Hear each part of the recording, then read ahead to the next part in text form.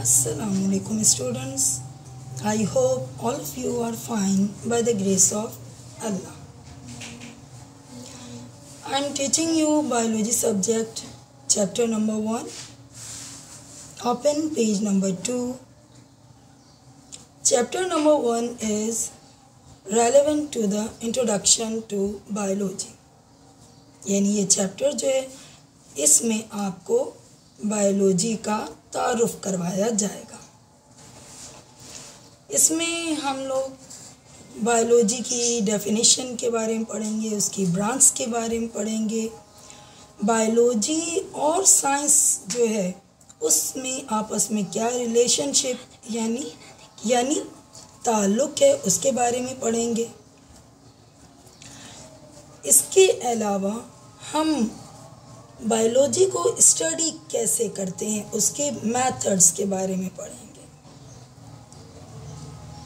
Further इसमें हम अपने मुस्लिम साइंटिस्ट उनके कंट्रीब्यूशन के बारे में पढ़ेंगे। अपने रीसेंट मुस्लिम साइंटिस्ट उनके कंट्रीब्यूशन यानी उनका किरदार। उसके बारे में पढ़ेंगे। तो मैं स्टार्ट करती हूँ सबसे पहले। कि बायोलॉजी सबसे पहले तो आपको पता होना चाहिए बेटा कि बायोलॉजी जो है, ये साइंस ही का एक सब्जेक्ट है। साइंस आप प्रीवियस क्लासेस में पढ़ते आ रहे हैं और तमाम बच्चों ने बायोलॉजी भी पढ़ा है। जो प्रीवियस बुक्स थी, उनमें साइंस के बेसिकली थ्री सेक्शंस किए गए थे। उन थ्री सेक्शंस में एक सेक्शन था बायोलॉजी जिसमें आप प्लांट्स के बारे में एनिमल्स के बारे में पढ़ते थे। सेकंड सेक्शन जो था वो आपका केमिस्ट्री का था। केमिस्ट्री में आपने एटम के बारे में पढ़ा एटम के पार्टिकल्स के बारे में पढ़ा। इसी तरह से जो साइंस की थर्ड मेन ब्रांच है, वो है फिज़िक्स और फिज़िक्स में आप एनर्जी से रेलिवेंट पढ़ते हैं और आप पढ़ चुके हैं एनर्जी मीन्स आपने इलेक्ट्रिसिटी के बारे में पढ़ा, आपने लाइट के बारे में पढ़ा, आपने साउंड के बारे में पढ़ा तो ये साइंस की तीन मेन ब्रांच हैं, जिनमें से हम आज जो पढ़ रहे हैं वो बायोलॉजी है। सबसे पहले तो आपको पता होना चाहिए कि व्हाट इज़ बायोलॉजी बायोलॉजी क्या है? हमारे ये तमाम रूटीन में होने वाले काम या ये हमारा जिसम किसी भी जानदार का, जो सांस लेने का प्रोसेस है, जो हमारा डाइजेशन का प्रोसेस है, पौधों का ग्रो होना, ये सब जो हैं, ये बायोलॉजी ही का हिस्सा है। तो सबसे पहले मैं आपको बताना चाहूँगी कि बायोलॉजी क्या है। वर्ड बायोलॉजी जो है ये कंपोज्ड है टू ग्रीक वर्ड्स पर। क्या है word biology is composed of two Greek words bios meaning life and logos meaning discourse thought reasoning, or in simply the study means bio का मतलब है लाइफ यानी ज़िंदगी और लोगोस का मतलब ये है सोचना रीजनिंग करना, उसका वजह जानना और उसकी स्टडी यानी मुताल करना। ये जो है एक नेचुरल साइंस की ब्रांच है और ये ऑर्गेनिज्म ऑर्गेनिज्म यानी किसी भी उजविया, जानदार उजविये और उसके अंदर होने वाले मुख्तलिफ़ फेनोमेना के बारे में पढ़ते हैं। फेनोमेना यानी प्रोसेस के बारे में पढ़ते हैं। बायोलॉजी को फर्दर टू मेन ब्रांच में डिवाइड किया गया है। Biology is further divided into two main branch I am repeating now biology is further divided into two main branches. Which one? Botany and zoology. और वो कौन सी हैं zoology and botany what is botany botany अगर आप लोगों ने सुना होगा तो बाज़ लोग पौधों को कहते हैं बोटैनिक तो अगर बोटैनिक के वर्ड से आप नोन हैं, आप लोग जानते हैं तो आपको पता होना चाहिए कि बोटैनिक मीन्स होता है पौधे और दूसरा उनके लिए वर्ड यूज़ किया जाता है वेजिटेशन तो बोटैनिक लैब से आपको याद रहेगा कि botany means plants and zoology zoology word निकला है जू एंड लॉजी से। आप लोग जू जाते हैं, वहाँ पर क्या देखते हैं? एनिमल्स तो आपको समझना चाहिए कि जू लॉजी जो है, यानी ये वर्ड बना है जू एंड लॉजी यानी जोलॉजी और जू कहते हैं एनिमल्स को। इट्स मीन्स कि in this branch we study about animals zoology is a branch of biology in which we study about animals and bot botany is a branch of biology in which we study about plants.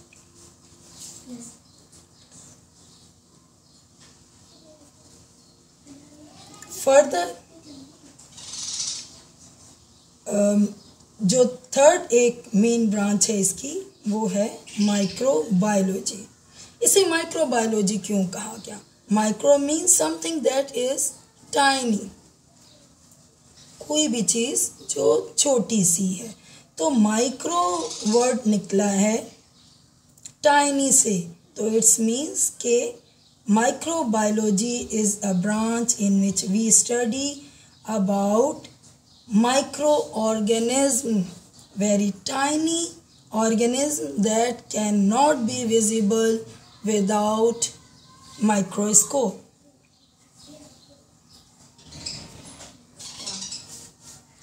Biology की जो study है, ये हमें बहुत सी informations provide करती है। The study of biology provides information about हमें किस किस चीज़ के बारे में देती है information various kind of living organism existing on earth यानी ऐसे बहुत से लिविंग ऑर्गेनिज्म यानी जानदार, जो कि ज़मीन पर एग्जिस्ट करते हैं। एग्जिस्ट मीन्स जो कि मौजूद हैं। इसी तरह से ये relationship of existing organism with extinct organism मैंने आपको बताया कि एग्जिस्ट मीन्स कोई चीज़ जिसका वजूद है, जो कि कायम है। तो उसके हम उससे हम क्या कहेंगे? एग्जिस्टिंग ऑर्गेनिज्म और एक्सटिंक्ट इसका ऑपोजिट है। एग्जिस्ट का ऑपोजिट है। एक्सटिंक्ट एग्जिस्टिंग है। कोई ऐसे जानदार जो मौजूद हैं। और एक्सटिंक्ट ऑर्गेनिज्म जो कि ख़त्म हो चुके हैं मादूम हो चुके हैं। बहुत हज़ारों साल पहले वो मौजूद थे, जैसे कि डायनासोर्स हैं और बहुत से जानवर हैं। तो इनका आपस में क्या रिलेशनशिप है, उसके बारे में भी हमें बायोलॉजी बताती है। फर्दर बायोलॉजी हमें आइडेंटिफिकेशन और ग्रुपिंग ऑफ़ लिविंग ऑर्गेनिज्म बताती है कि लिविंग ऑर्गेनिज्म जो है, हमने उन्हें किस तरह से आइडेंटिफाई करना है, उन्हें हमें, हमने कैसे पहचानना है, उन्हें ग्रुप कैसे करना है, उनके ग्रुप्स यानी ग्रोह कैसे बनानी है।